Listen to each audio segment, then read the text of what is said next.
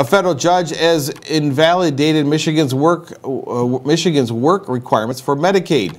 The Associated Press says that the uh, that Judge James Boasberg's uh, ruling comes weeks after the U.S. Appeals Court affirmed his decision to strike down similar rules in other states. The requirements made it mandatory for new for low-income individuals to work a minimum number of hours in order to qualify for government-funded health insurance, now, which is a line with the Trump administration's efforts to, which is in line with the Trump administration's efforts to reshape the federal Medicaid program.